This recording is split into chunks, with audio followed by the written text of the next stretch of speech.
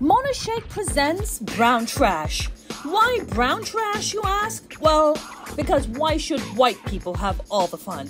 Mona shares her life growing up in a violent household in Pakistan, moving to the US at 15, surviving an abusive marriage, being violently attacked by a white lady in a hate crime, and discovering stand up comedy. Did America looked like the movie Home Alone. like, women know it's bad enough to be with one virgin. Why would we want to be with 72 of them?